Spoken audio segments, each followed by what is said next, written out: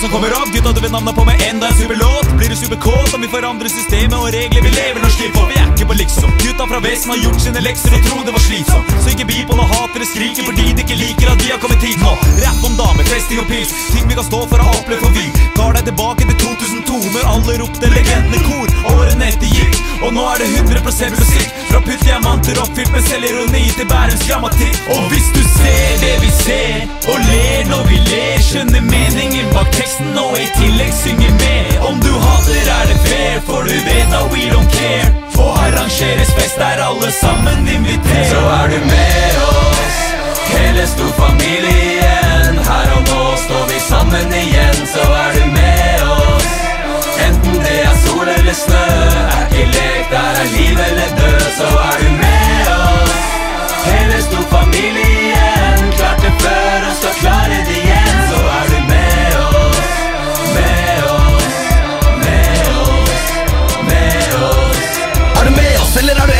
du en av dem som, ler når du ikke ser oss? Så er det en som ber om mer, og så krever en del, men som mener at det vi leverer er kjedsomt. E-R-I-K-R-I-S-S, Erik og Chris hey yeah. Svære på nett og spredt tracks som i liter dress. Så er du med oss, eller har du tenkt å jobbe mot oss? Slenger dritt om wackshit og be oss om å roe oss. Roper at ordene vi pumper er dumt, og så kroner det med at du ikke har tro på oss. Eller er du en av de som støtter opp, så rocker på konsertene og møter opp? Og ber vi om chicks opp på scenen, så nøler du ikke med å sende dine døtre opp. Hvis du ser det vi ser, og alltid er keen på mer, sånn at du kan synge med. Om du hater oss mer når vi ser på deg og ler, så er det fair, for du vet jeg spanderer dobbelt destillert. Så er du med oss, hele storfamilien. Her og nå står vi sammen igjen, så er du med oss.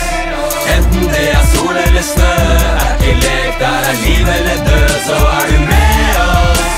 Hele storfamilien,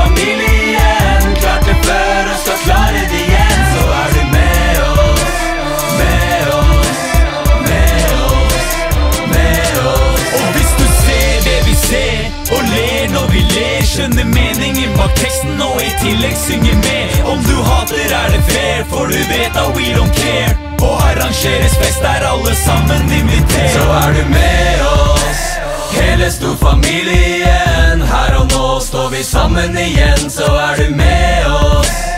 Enten det er sol eller snø, er ikke lek, der er liv eller død, så er du med oss.